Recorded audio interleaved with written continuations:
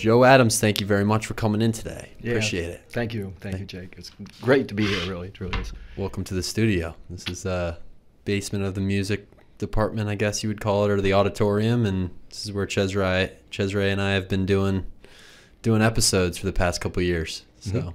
welcome in. Yeah, it's nice to be here.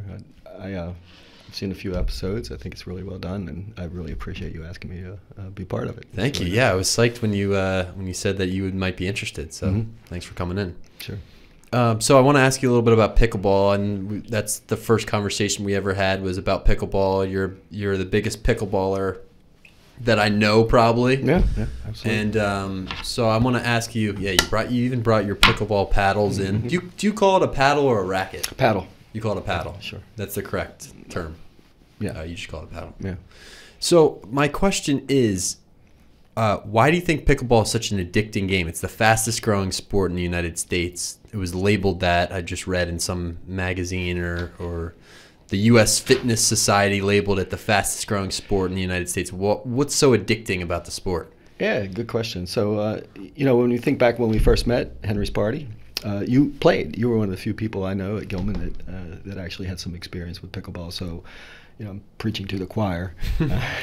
and as a, a big lacrosse player, and, and me, we can play in the same. We've probably played maybe hundred games over the last last years. You know, either Yeah. as opponents or, or partners. And you know, where is there a venue where you and I can play uh, sort of equally, right? Uh, a great D1 athlete and a math teacher. So pickleball has a great equalizer effect. I think that draws people in and um, lets them lets them participate in a, in a fun activity, which is uh, you know a sport. Yeah, that's what I tell people who are just because a lot of people haven't played pickleball or don't really know what it is. They feel like they've seen it. It's similar to tennis, they say. And I tell them it doesn't really matter if you've ever played before. Just come out because Yeah. you play one or two games and you're right there with with the best players almost. Yeah, well, yeah, in a sense, but also if you lose, you lose quickly, and it's it's, it's, not so bad that way. That's true. So how so when someone asks you how would you describe pickleball, what do you say? It's ping pong. It's mostly ping pong. You stand on the table. Yep, yeah, that's I how like I describe it. So, get a little exercise. I, I like to say it's it's ping pong on a tennis court almost. There you go. Because it's what is it? Half the size of a tennis court almost. It's the size of a volleyball court. size of a volleyball court. I was I mean, a badminton court. Excuse me, badminton court. Yeah. so I was reading about the origin of pickleball. Yeah. You know you you probably know the whole origin of the story.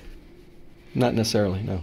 So it was founded in Se- outside of Seattle, Washington, a place called Bainbridge, Washington, and it's actually Washington state sport now. I Oh, didn't even know they had state sports, but uh, it was founded in 18 or 1965, and it became popular in 1965 in Washington, but then spread. I don't, and I want to know why. The reason for this is in 2020, it spread all across the United States.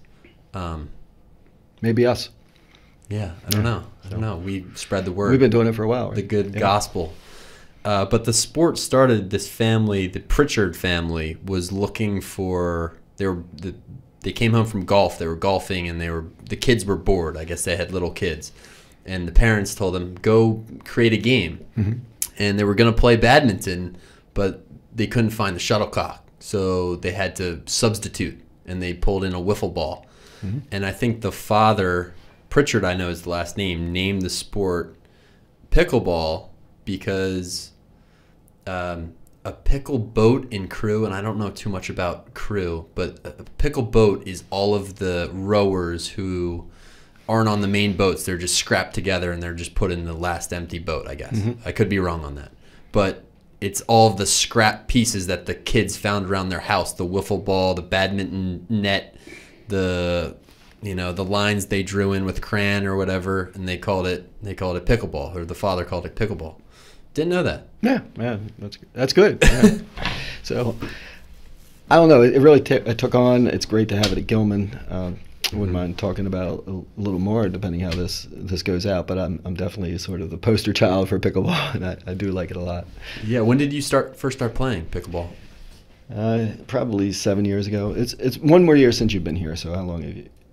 it's been five years for So, me here. uh, this is my fifth year So maybe about six six and a half years. Yeah. hmm Yeah.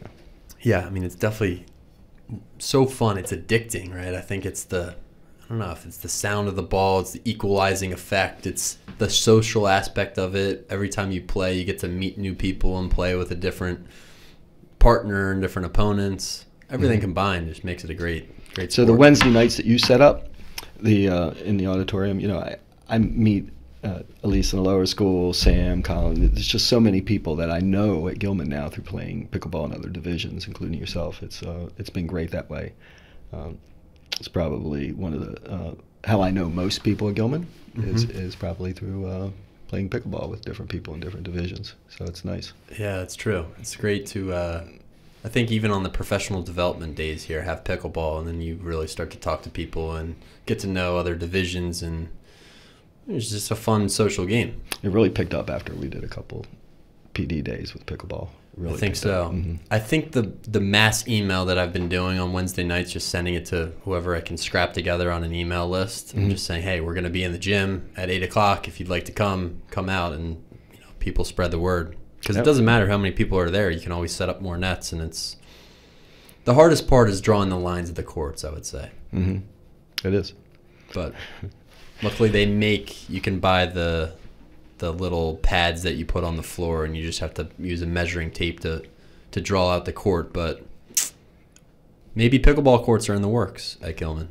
So I can envision it because uh, I certainly put a lot of tape down over the years in different courts, and that's always been fun for the people who have to um, redo the courts uh, and uh, the floors. So I would like some uh, see some uh, outdoor pickleball courts uh, for Gilman in the works. It's I think everybody's on board. It's just a matter of figuring out where to put it and how to put it in. So we'll be playing in uh, really nice courts, and a lot more people will be involved. I think uh, hopefully this summer if it, all works out nicely. That would be great. It'd Yeah. be a lot of fun. Would be, would be. I could see it as a intramural team uh, almost right away. It's already in the sixth grade.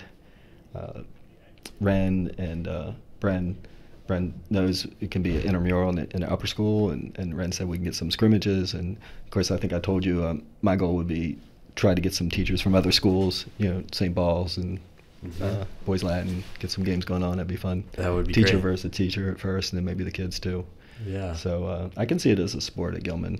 Uh, I can too, and I. It's funny. I've been thinking of ways because I teach the upper school boys, and and I have classes with the girls. They come over for classes, and I really like how Gilman does the tri-school coordination, right? Because the boys then have experience with the girls in the same classroom, and it's not just an all-boys school here because they have that coordinate program in 11th and 12th grade. But I think it would be really awesome if they had an outlet to interact with female students outside the classroom and outside, you know, the the the rare Friday night dance. Right, You right, know, right. something that's social and fun and interactive, but not, you know, it's Friday night and you know all bets are off kind of yeah. deal. Yeah, I could definitely see that, and it's a good benefit. I mean, it's worked for us, yeah. So uh, that's great. It's worked for the faculty. Yeah. Yeah. So Wednesday nights, if you're listening to the episode, come out Wednesday, Wednesday nights. night, Mr. Holmes, uh, direct challenge there. You know, right, right to you. So he'll he'll be there now. You know it. You can count on that. The guy loves a challenge. Yeah. So, um, so Joe, tell me a little bit about how you uh, how you got to Gilman. Like, what was your first experience coming here um, for for a job or for an interview? Hey, thanks for asking. Uh, so I have a great story. Uh, I wanted to be a teacher since seventh grade, uh, seventh grade, and I wanted to be a math teacher in a middle school. So uh, I feel, you know, the, the the backside of that is I, I I'm here. You know, I can't think of any other better place to be than right there in the middle school where I sit teaching math. I mean, I'm really happy. But how I got there, um, I, I started early. You know, there's it's you know to get into Gilman, you you were uh, you came uh, as a fellow. Mhm. Well, I came as a summer school teacher. Uh, that's what I did. I, I taught uh, for summer school one year, and I walked on the campus and I felt like, oh, this is like a college. This I really like. I really like this place, and that's a feel I got. I didn't know a whole lot about uh, necessarily Gilman the way I know now, but everything I knew was good. So I um, started teaching for a year, uh, five, uh, seven weeks, five days a week, three hours a day, algebra one, in this one room in the middle school, if you know it, with the windows. Met some few people.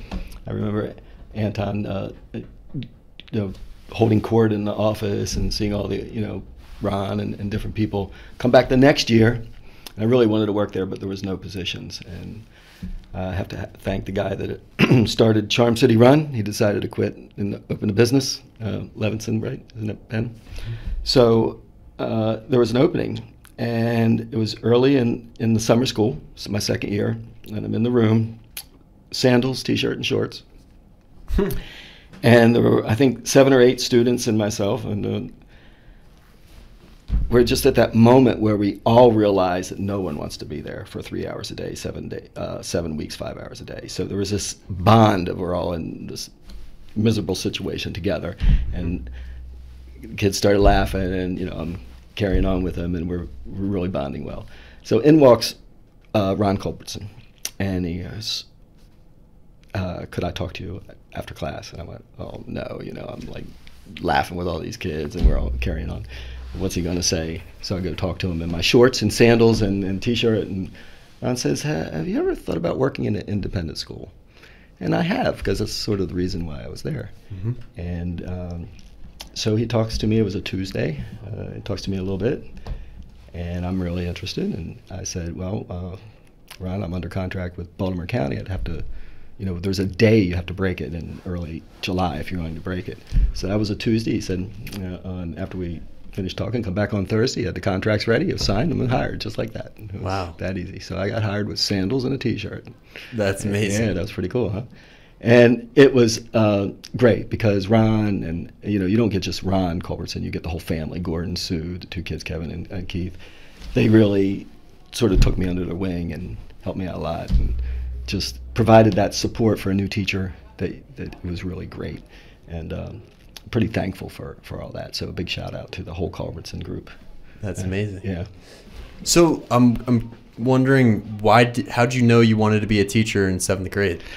Yeah. So I just had good experiences in, in my middle school. And what um, was your middle school? Where, it was Our Our Lady of Victory. All my schools are out of business. Uh, it's it was in uh, Catonsville area, K to eight, and uh, that you know enjoyable experiences. I like the teachers, and I guess you know in some ways I'm a first generation college student. Uh, you know from both sides of my family, there wasn't a lot of college going on, so you sort of pick things that you see in life, and, and teachers are largely what I saw. But um, I never looked back. I always wanted to be a teacher. It took me a while to get there, but definitely always wanted to be a teacher, a math teacher in the middle school. Was there a math teacher you had that really sold you on that dream? It wasn't math teachers. It was a science teacher. Uh, he's a department head at UMBC now, Jeff Mitchell, and there was a, a Sister Catherine Carroll, uh, eighth grade LA teacher, who uh, come to mind right away as, as two people that you know helped me point in that direction. That's what I wanted to do. Yeah. Yeah. wow, that's amazing. Yeah. Seventh grade. That's pretty rare to know what you want to do. Seventh, eighth grade, probably middle and, school, and yeah. to fulfill the dream. Took a while, but yeah, yeah. So. So um, why math?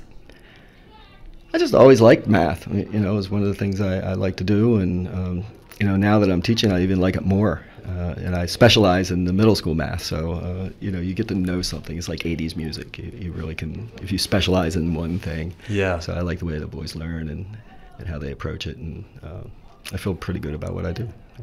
Yeah. I I was never naturally gifted at math. I was telling my class the other day because someone was doing a math homework in my English class before class started, and I was like, oh, I I look at that and it looks like gibberish to me. I just never really clicked with it. I went to this woman named Miss Roach, and I should write her a thank you note. And she had a room just like this mm-hmm. at Conestoga High School, and she would just sit in this room all day, just like this room, and and help people. She was a tutor. She would she would tutor you on your homework whenever you wanted to come in. You can come in at any time. That's great. You didn't even really have to schedule an appointment. So I would be in there first thing in the morning, and I would say, Miss Roche, I I need your help. I really need, need some help. So she she really got me to where I needed to be in math, but it just never. English did, but math it never really clicked for me. Some people it does. It probably clicked well enough or good enough for you, whatever. You're an English teacher. It's it's it's rewarding to help people get past the hump of not feeling good about math. So as you're talking, I am I'm pretty confident that we could work out some problems. You'd feel really good about it, Jake. so uh, yeah. How do you uh, how do you make math fun for people who don't find it fun? So you don't always. you don't always, but what you do is you string together a bunch of successes. That's that's the, the bottom line. They, once the uh, the guys feel good about what they do and they know they can do it, and, and you believe in them and they believe in themselves, uh, it's much like a coach, right? So um, that's how that's how you do it, and mm-hmm. and it helps to have experience to know where their mistakes will, will fall and give them some examples. But but the idea is you believe in them, they like you. There has to be a connection, right? And mm-hmm. once that connection is there, and, and they start believing themselves, the the guys over the years good things can happen. Really, uh, really good things can happen in the classroom. Even the most reluctant learners. Yeah.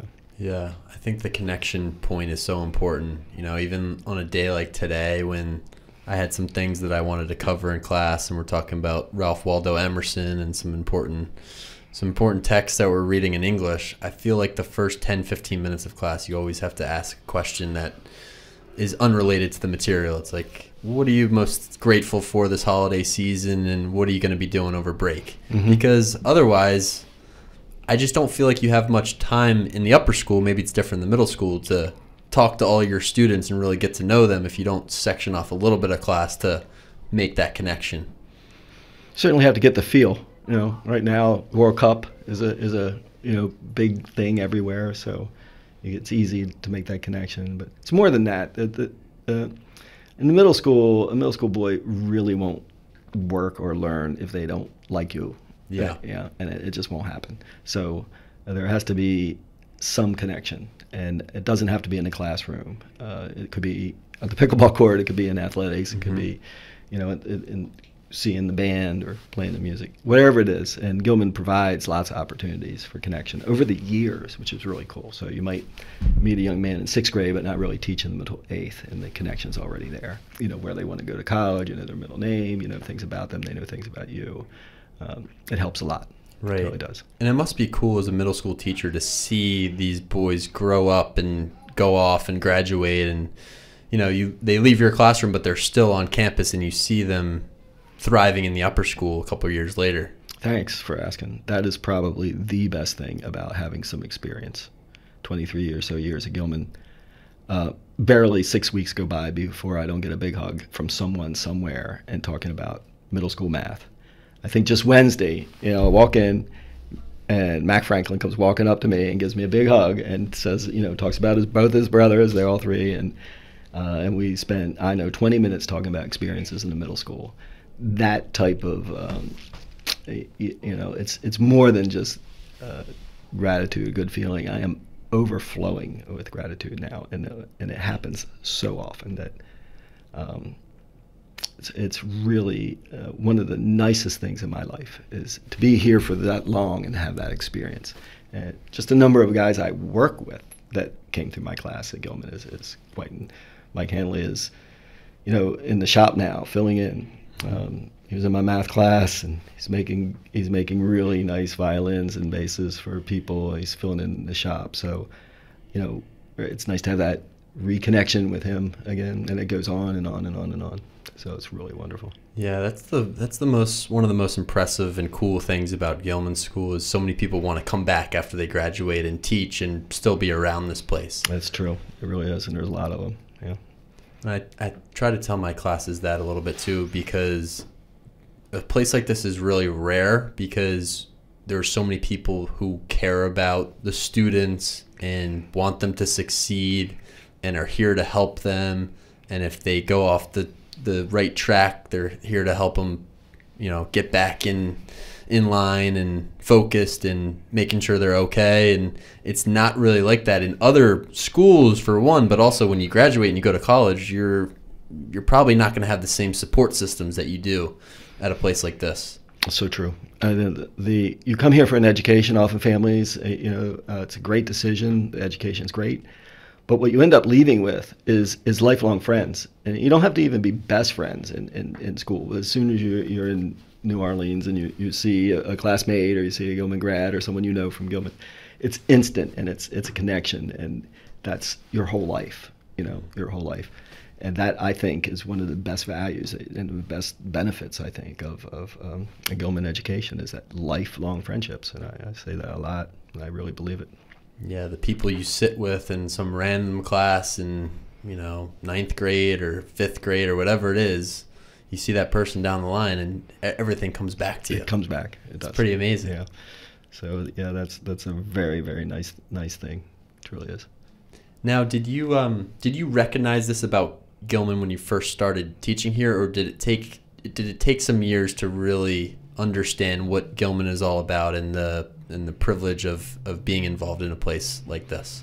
Yeah, in the beginning, I was more focused on uh, what I was doing in a classroom. You know, is this math problem correct? Is, is this the way you do things? Can I control the class behaviorally? Things like that. As more thinking about me as a new teacher. Um, so no, it that came. It, it didn't really start happening until 15, 16 years when, you know, Richard Schock comes back to work, or the Joe Valentine White comes back, where it brings up memories. It, it brings up memories, and then I realized it's it's it's a, a long term. So in the beginning, no. In the beginning, it was more the craft teaching, surviving in the classroom, and, and things like that. Yeah. Hmm.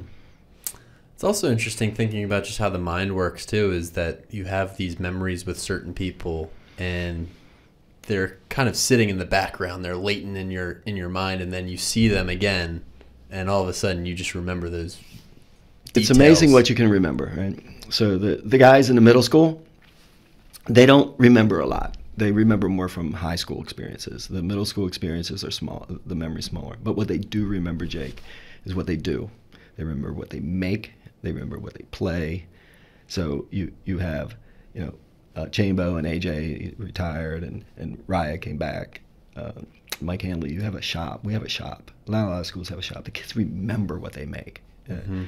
You know, you have down here in the music department, Cheryl and, and uh, DeChozo and uh, Ariel and Lander, Mr. Pete Lander and, and uh, Liz.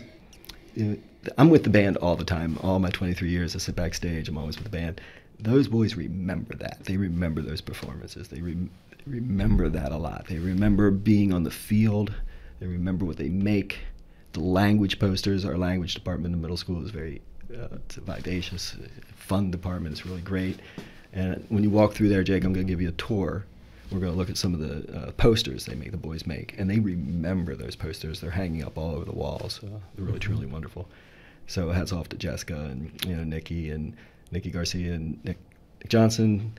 Oh gosh, I'm going to leave some out. Selma Brahama and um, uh, Kip Diggs. And we have some Latin teachers too. You know, a lot of fun. Chris Chris Taylor is writing a book. Real is coming out really soon. And, Yeah. Uh, and, and Sean Northrup is uh, part time. Hmm. Latin, really great. Now, do you um in your classes do you have to deal much with discipline and behavior, and how did you kind of figure out how to how to manage that? Because I I know middle school guys that they've got a lot of energy, they need to get it out, and it's hard to sit in a classroom for a lot of people. What was that learning curve as a teacher like to uh, just make a classroom that's conducive to focus? I guess. I'm still working on that. Yeah, still Yeah. still working on Me it. too. Yeah. So, uh, I don't know exactly. I think you get better at it as you go along. I've had some uh, good times and some rough years. Uh, now I think it is the connections and, and the routines and uh, I guess the craft of teaching. You learn some tricks of your trade, and also if you're here for a long time, there's sort of a they know you before you come into class. But it has to. It always comes back to the connection. If you don't, if you don't know the people you're teaching and they don't know you, uh, you it's not going to work well. So Mhm. it, I think it just has to come back to that connection uh, that you that I have with the boys in the class. Yeah, I think that's very true. And I think if you, uh, I mean, it's the same in any personal relationship too. You've got to understand what works and the right way to speak to different people, and it's all it's all people skills. Mhm. Really, is what it is. I like to think we're on the same team too. you Right. know, in the classroom, we're on the same team. You know, we want to get, we want to learn, we want to have fun, we want to uh, do well. Yeah, and we're all. Yeah, I was thinking today about how much I learn from my students. Like if I just if I just let them talk or or teach the class today, I gave them certain passages to read and present in front of the the class, and I was just kind of sitting in the back, like, wow, that was a pretty good point that I never even thought Mhm. about before. So uh, that's also interesting too. Is they say some things that I would never think of. I just don't have that point of view or that perspective that another person in the class does. hmm Yeah, I, I'm right there with you. Yeah. I, I'm, I'm, I'm impressed every day. Every day I'm impressed by a student, and I learn from them. Now, have you taught the same curriculum for most of your career, or has Mhm. it changed?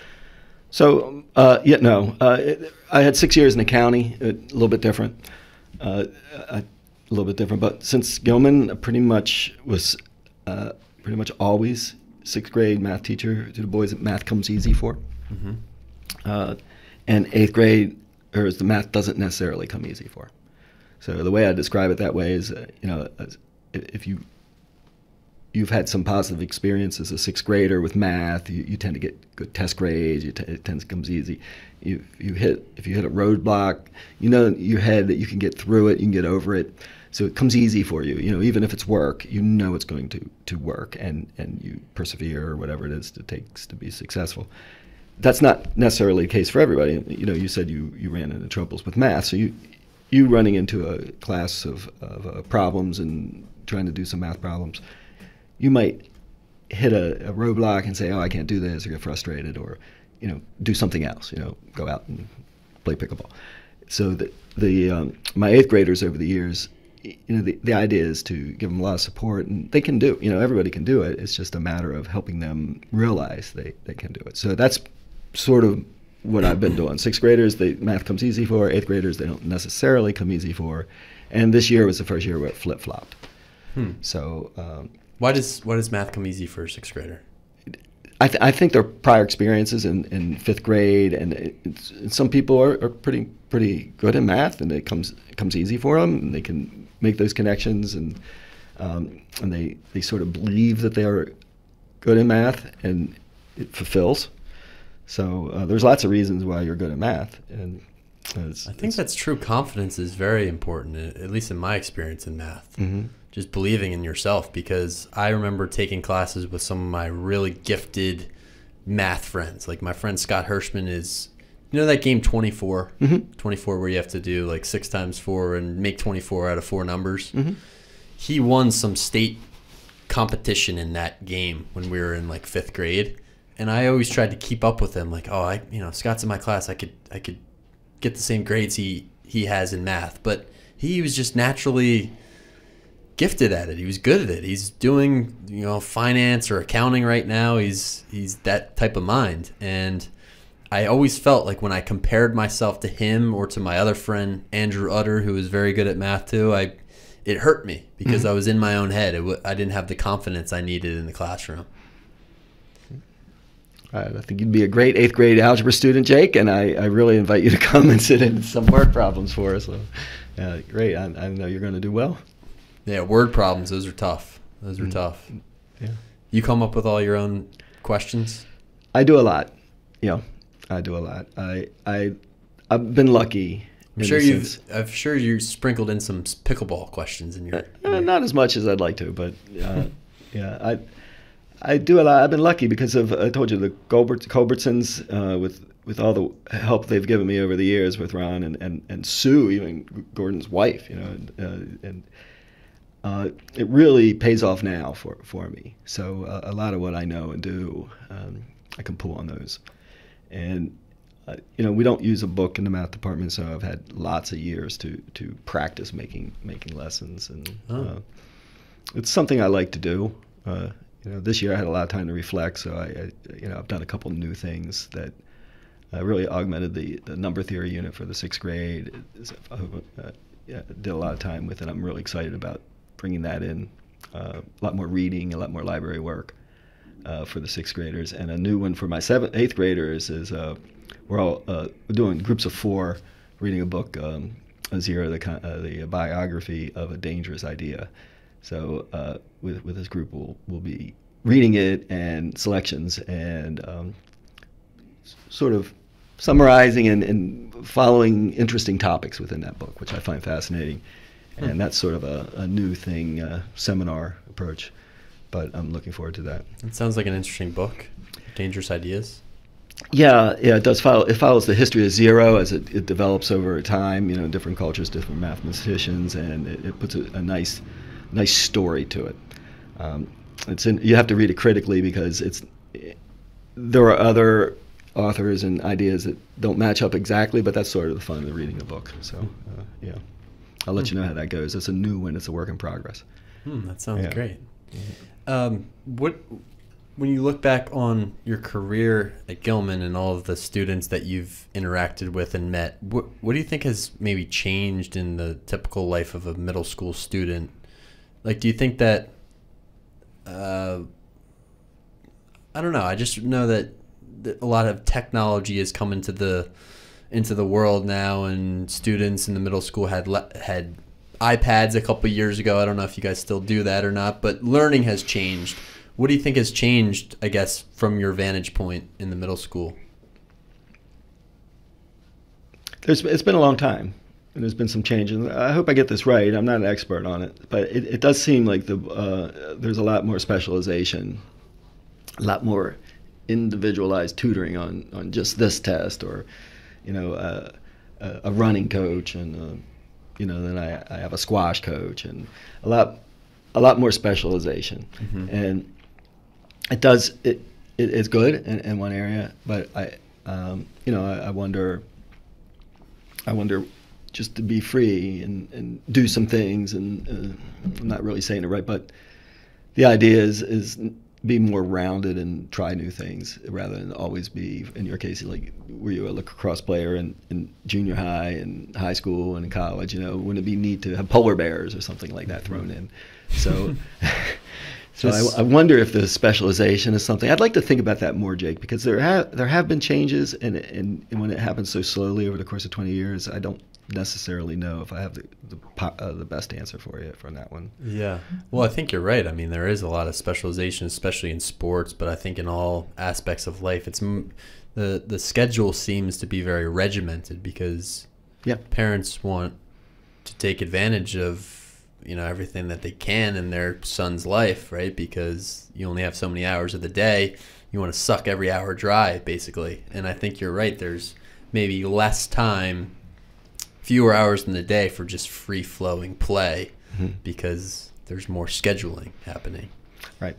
So I'm really proud of the middle school. Uh, what the way we do things is uh, they have a recess even in the beginning of school. They get there. There's two or two classes and a little recess and two more classes, lunch and some recess, two more classes, a little extended break before study hall, and then study hall is in athletics. So uh, our guys have time mm-hmm. to play and have time to do things, and I, I think that uh, fills that uh, fills that need for for them. So it's a very good model.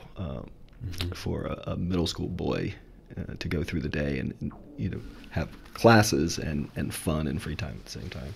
Yeah, and as we said before, Gilman also offers so many extracurricular opportunities such as arts and theater and sports and you know you can find your niche whatever that may be here there really are you know you can you um, you know i want to give a big shout out to to the drama and the plays and the music because that's really the boys remember that, um, and even the graduating seniors. Are, I was having a nice chat with Curtis, and, and he was telling me how important being in the plays and the music has been in his life. And I just can imagine a young man like that just carrying it with him through college. He's a senior, I believe. So. Uh, he had a great senior speech, and he talked a lot about how he found his passion for for music and singing. And uh, it's interesting because it only takes one moment in your life to be almost converted to your passion, like him. He, I think he was talking about, and I hope I don't get this wrong, but I think his mother said you should go out for this or try out for this, and he didn't know, and then he did, and then all of a sudden he just fell in love with it. And now mm-hmm. that's what he loves to do. He's he's lucky. He's rare in that he's found what he loves to do in life he he also earned it. It was very hard for him uh, to get to practices. There were lots of kids in his family, you know, trying to keep everything together, getting up to this huge amount of practice. So you know, he had to put a lot into it to be lucky, and uh, uh, I'm really happy for for Curtis. Yeah, and that's why I think it's also rare that you knew at such a young age that you wanted to be a middle school math teacher. That's that's pretty amazing too. Yeah. Yeah. So, um, so I had a friend. Uh, I, didn't jump right in uh, out of college. I, I went to, as an adult. Just had a really good friend, uh, 35 years. He's, I guess, can a friend be a mentor? mentor? For sure. Yeah. yeah. So he's in England now, and we decided to go back to school together to be uh, teachers. And he was with me, Andrew last. He was with me um, in separate schools together, but shared experiences. And uh, he went into education too. He wanted to be a Spanish teacher, and that that was uh, helpful for me. And I'm, I'm really happy. I'm going to go visit him. He's in England now this summer. So Nice. Looking forward to that. Yeah, that's awesome. Um, have has Gilman afforded you opportunities to to travel at all? Have you traveled much? I, I think I'd like to do more um, because uh, one of my goals uh, the, over the, what's that called um, COVID, you're sort of locked in. Everybody's in the house and new grandchild living with us. So I decided to try to learn Spanish from scratch. You know, mostly Duolingo. Uh, that uh, that's neat. Maybe maybe it'd be uh, fun to to go to a place that, where I can practice more. Uh, the language department oh my gosh, you know, I always said how, how great they are. They're, they've been so, you know, since we've come back from COVID, they've been really good with, with me to uh, help me practice and just stay stay excited about learning Spanish. So yeah, I'll, I'll get some more um, travel in for sure. Um, the next one's England. Yeah. yeah. Yeah. Uh, what's Duolingo like? Have Have you enjoyed it? So it it. works. You know, it works for those it works for. So I have a thousand days. I do about twenty minutes a day. Uh, it's slow. It's slow progress. prog- uh, I learn slowly languages, but I need more practice, and uh, I'm getting it. And I, I feel it's fun. It's fun. Um, Do you have to speak at all, or is it mostly just on your phone and you're putting putting sentences together? a little bit of both. You have to speak. Yeah, a little Oh. bit of both. It, it it's it's forgiving on the speaking part. They changed the algorithm, but uh, it works. It works for me. Uh, it won't work as well as uh, speaking with people, but uh, that's next on the agenda. Now I How, have how, long have you been uh, studying Spanish? So a thousand days, a little bit more than a thousand days. They it tracks you. Oh, so you're you've been doing it for a while. Yeah, since COVID started. It was hard because I didn't have anybody to talk to. You, everybody's home, so it, it was a slow learning curve, and I had no prior experience with languages. So, um, but it's been a fun goal, and I've been working on it. Did you take Spanish growing up at all? Mhm. No. Took Latin. Oh. Well, that's nice that um, that you found ta- time to do that every day. Do you have a certain schedule that you? So I'm part of the early riser club the last few years. You know, uh, Matt Tully and Eileen um, and uh, Phyllis Pollard. We get there pretty early every day. Eileen Kim. Mhm. And uh, in order to do that, I wake up, you know, maybe 4:35 and do the Wordle, practice my Spanish. Wordle first thing in the Yeah, morning. Well, some days, yeah, sure. Cook some two eggs every day and uh, get to work early, and that's when the work gets done. Really, uh, that's nice. uh, Yeah. Before everybody gets there. Yeah, I agree, and I have a hard time getting up out of out of bed sometimes, but I have had to recently because I'm coaching the JV squash team. Oh, cool. And uh, we practice at six in the morning at Nolan Park courts. But you just feel so much more accomplished, I think, when you're up before everyone else and no one's around. You're fresh and everyone else is still asleep. Your, I'm, I don't know how old you are, but your age is much harder than my age. I, I get up without an alarm clock. So when you're in your 60s, something happens to you that you're just able to get up. That's that's the way it is. So take advantage of it. No alarm clock. No alarm clock. Wow, I have an automatic coffee machine. I smell the coffee and hear it clicking on, and that's how I wake up. That's more pleasant than the, you know, the beeping. It is. It really, truly is, and it works. It works. Wow. Um, Joe, what book recommendation did you did you bring today? What is what is this book? So there's a, I do audiobooks, uh, which really is great, uh, and so I brought a picture of it. And this came through uh, Coach Will in, in the LA department. He um, uh, football. He's a wide receiver coach for the varsity team. He recommended this, and what it is is Killers of the Flower Moon, and it's a it's it has a couple things. It, for me personally, uh, I like uh, the historical aspect of it. It takes place in 19 starts in 1920s. I really like that in, in all my books, fiction or nonfiction, and it it tracks the uh, throughout the book. It, it has a page turner effect. Even though I audiobook it, you, you really want to hear more and more and more through the whole book. I really like that in any book I have, and it keeps keeps you guessing all the way to the end. It has a nice explanation at the final final end, but it keeps you guessing. So once you start reading this, uh, you will want to finish it. I, I can promise you that. And that's I like that. I like I like trying to guess the ending uh, of, of, anything. Hmm. So um, so I, re- I, I do recommend it for that. The there are two storylines. The one, the, the minor storyline, is the birth of, of the FBI and how it sort of blossoms under Hoover uh, or, or whatever. It has a, a detached treatment of the FBI. You have to make your own call, whether it was good or bad or medium. And the main story is uh, the Osage, how they were in Oklahoma. Uh, paints a picture of uh, what I see when I listen to it, a Wild West. Um, but it's small West towns, more like Gunsmoke than than s- small towns in New England or something. Uh, sort of uh, wild, almost vigilante a little bit, and uh, definitely small. You know, decision making process, the courts and, and everything is is uh, is it colloquial? Whatever the word is. So the and and what happens is the Osage get dropped, uh, gets displaced and dropped in a uh, against their will in a, a, reservation. It just so happens years later that that reservation is super oil rich and they own the mineral rights. So for a time, they become the richest people in America. Hmm. And here's where um, there, here's where it gets.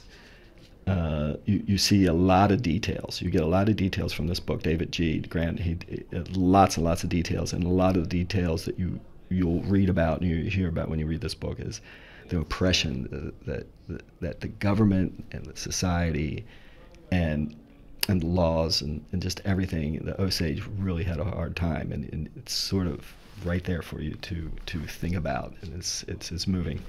But even more in that, it's the horror. It's it's the horror and the evil of humans when they systematically murder scores, maybe even hundreds, of um, the Osage Mm-hmm. And they do it usually by poison, and it's gruesome. It's it's hor- horrific and evil, and it's part of the book.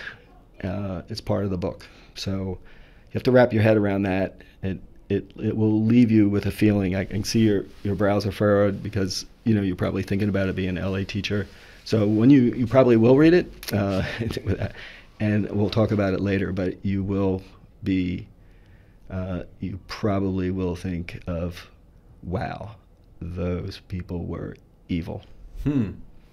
Why is it called Killers of the Flower Moon? So the the there are people that the author gives you insight to, and Flower Moon is is a name. Uh, so as different people start to be murdered, uh, you'll you will talk about the killers of, of the of the people and that that's where the name. Comes. And the Osage is a tribe, correct? Native American tribe. Mm-hmm. Hmm. Yeah, Oklahoma. Hmm. So uh, that uh, that was great, and I really appreciate uh, Coach Will for for recommending uh, that book to me. I I like books on audio, yeah. but I, I believe you know it's pretty easy to get everywhere. Interesting how you say that it's a page turner on audio. Audio, yeah. You just want to keep listening to it. Mm, pretty much, yeah. Hmm. Yeah, I've definitely seen that title around, and um, it's interesting. I saw a, a, painting this weekend. I went to the. Uh, I don't know if this is in Oklahoma or where this is set, but this is a Native American on horseback, and uh, I don't know if you can see. I can see it. Yeah. Yeah, on horseback, sure. and I was looking at this. It's a massive painting. She's ready. To check it out, and uh, it's a massive painting in the National Gallery, and I was just thinking to myself, wow, we've we've come a long way from what the natives had to do for food and for survival and for warmth. This guy is on a horseback, just spearing a buffalo in, in the Great Plains, and uh, thinking about you know today, you just kind of walk down. You can just walk down to lunch or walk over to lunch, and it's just a whole different world. And it wasn't it wasn't that long ago. No, you know, no, it wasn't. Turn of century. So I, I would like to come to your um, LA class and visit and maybe uh, talk about the book a little bit and see what an upper school uh, LA class does. Do you do books in your class? For sure. Yeah, yeah, yeah. So is uh, it is it it's all a true story, right? It's not fictionalized. So I I believe um, that there's so much information in it that I I believe ninety percent is is really good information, and you know you have to read critically for for everything else. Uh, I, just like any anything else, but I do I do feel like it is is it's nonfiction. Yes. Now, um, uh, when was the FBI? What what era was the FBI? Uh, So I'm pretty bad with dates, but let, let's say 30s or 40s, and I am probably wrong. And there was a the good guy uh, in this in this book was a Texas Ranger to start. So he was pretty, uh, you know, you could almost envision the cowboy outfits or look. And he was hired as an early FBI agent, and uh, he was he's sort of the moral compass. Now, I'm not giving anything away because you learn that pretty early, but I don't want to tell you about the, the other parts because you have to read it for yourself. The but he's sort of the moral compass, and as he goes through the investigation of these murders on behalf of the FBI, it gives you a little insight on what the FBI at the time is is thinking about and how it how it changed from you know hiring maybe someone that was a Texas Ranger to white shirts and ties and college graduates, which oftentimes associated with FBI's and, and now a, a different type of approach. But uh, you got to remember the the blend there where, where it picked the FBI picking up and and where uh, the crimes were committed. A sort of rough time. Lots of lots of uh, people uh, secret what do they call it uh, Wells Fargo uh, uh, what's it what's a like you Secret- pay someone to, to go be a security guard type thing you know uh, Secret Service. yeah like not secret service but uh, you're working for they were sort of working for the bad guys so to speak uh, Oh, yeah undercover? yeah there you go uh, that type of thing there was a lot of that going on and just uh, just a just a, a lot where where the two worlds are colliding a lot of uh, bad things were happening Hmm. and uh, doesn't doesn't paint the FBI as a bad organization or anything, but does give you some some insight of uh, how it developed over the years. Hmm. It's the subplot, I guess you could say. Interesting. Mhm. Well, I'm gonna have to check it out. Is it a long book? Does it take a while? I'm not a huge audiobook guy, but I'd love to pick pick up the physical version and, and read it. So I don't have the physical version. Uh, I don't think it would be a long book. It didn't take you too long to listen to. Mm, it was. It didn't take me too long to listen to because once I started, I wanted to finish. So I uh, go exercise or get some, you know, do some walks or scoot as I like to scoot my scooter all over town, and I'll listen to uh, to a book while I'm scooting. Oh, oh, tell me about the scooter. So you know, I'm in my 60s now. I used to like to walk, or you know, people run. Uh, I like to cover distance all over Baltimore. I look for the nooks and crannies uh, everywhere.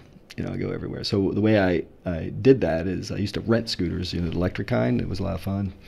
But I just bought a push scooter, and I live on the light rail. I'll, I'll go all over and do marathons, but on a, on a scooter. So it's a lot easier for me, and I cover a lot of distance. And it allows some people like to fish. Uh, some people like to do different things, take walks or exercise, run, run marathons.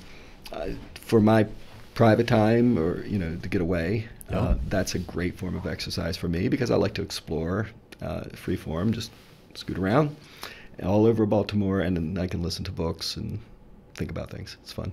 Yeah, that's awesome. hmm What is your favorite? I guess you said nooks and crannies of Baltimore, but hidden gem in Baltimore. So when people ask me about Baltimore, at first I didn't really have much to say because I moved down here and I didn't love Baltimore right away. But it took me a while to find a lot of these hidden gems, restaurants, cool places, nice views, different locations in the city, different areas to go to. What are some of your favorites in in the city? So it's easy for me. You know, I, I, it's the harbor. I was there opening day years and years ago. That's a long time ago, Jake. And I met my wife, uh, bartender waitress. You know, working in the harbor. It was back in the '80s. Uh, I've I go there a lot, walk around, just look at the water. Um, it's just a great place to me. For I, I like the rebirth. It's, it was sad what happened to the harbor the last ten years, uh, but there's a nice rebirth. And I lived. My first place was really close to there, and I, I worked so I could walk to work. It's sort of part of what I um, experienced as, as a, a younger man. And then as you walk, uh, you know, Fells Point. Of course, I lived and worked in Fells Point for 12 years.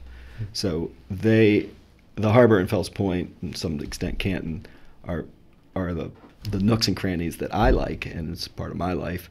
but there's plenty of places um, that that make Baltimore unique. You know, close to here is Hampden is is really cool, and you get some pasta at Grano's, and you know.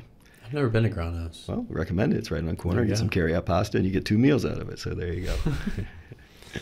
Now, can I ask you? Uh, uh, so, when you met your wife, did you leave your your name and so, something on the receipt? So we worked or- together. Oh, you worked together. Yeah, yeah, yeah. We were hired at the same time. Uh, place in, in the harbor. It was the happening spot back then, believe it or not. It was, the lines were out the thing, and uh, so we worked in this restaurant, and you know, bartender, waitress, and uh, it took her a couple of years to like me, and once she did, you know, we got married. There you go. Gave it some time. Give it some time. Man, it's not easy working in a restaurant. I know Cesare and I have, have talked about that before, but I I worked at an Italian restaurant for probably a year, under a year, and Italian restaurants are so small, and I was a busboy, so I was going around and just cleaning off tables, filling up water. You know, when the dishwasher came out, I, I would I would dry the wine glasses and put them back. And one night, I was drying the wine glasses, and they're so small and delicate. And I had my hand down there, and I broke one. Yeah, cut yourself. And I did it probably, you know, three more times that week. Mhm. And Frankie, finally, the the owner of the restaurant called Fellini's, just never called me back. That was it. I broke too many of his uh, of his gla- of his dishes. You just weren't cut out for it. I was not cut out to work in an Yeah. Italian restaurant. So I, I don't know. I've always enjoyed it. Uh, you know, when I said I went back to school as an adult, I worked nights uh, in, in different in Fells Point. I, I was a bartender at the Cat's Eye Pub, you know, and for years. Love that place. Yeah, and uh, I've always worked in good places that way. So that's how I made it through college and grad school, and my first two years of teaching to supplement, you know, the the pay. Uh, it was fun. You know, it's actually a fun job. I enjoyed it. Yeah. Finally, you have one more thing uh, here. This is this yours? This thankful? So you know, you were talking about uh, the support of the boys, and in the middle school, there's a, there's a lot of uh, uh, support. Uh, You have Sean Hall, and then uh, Katie, Katie um, Schmidt, and Lynn, Lynn Nichols. They last year, Katie and I were coaching together, and I was talking about uh, how I decorate for Thanksgiving, and the next day I come in and she made this, you know, and I think today being um, day, the convocation thankful day, and I, I feel really thankful. Um, so, and I got a lot of support. So that's that's why I brought that. But if you just think about, you know, what the boys get in the middle school, you got you got Joe Valentine White and Danelle Thompson and Amy Summers and uh, their uh, Kate Mays, Mays line up and flip around. Uh, just a lot of support. Mhm. You know, there's just a lot of support for the guys, and, and I feel it too, uh, and, and I just I just feel it too. So I brought this in, something that someone made from Gilman. Thank you, Katie. And uh, I, as we're finishing up, I just came off of a sort of a medical, you know, cancer. I had prostate cancer. It came back, and uh, the middle school, my my work family, you know, I am so appreciative uh, for everything they have done for me and made my recovery so good over the last uh, several months as I'm going through these treatments.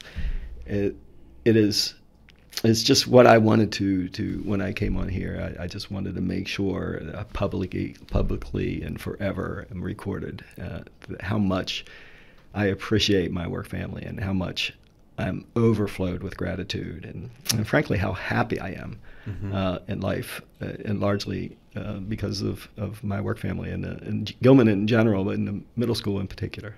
So um, I'm glad you, you asked about that. Thankful, and I'm I'll be sitting there listening to the Turkey Tango and thinking about how wonderful it is to to be with this great group of people.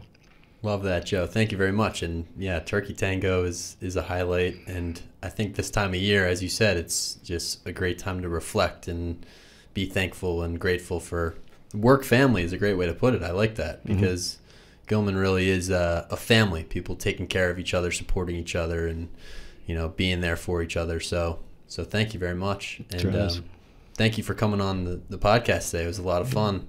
Cesare, thank you, you're Yep. the man. and uh, thank you, Jake. We'll Thanks, see Joe. you on the court, right? Yes, sir. I'll see you on the pickleball court. All right, perfect. Thanks a lot.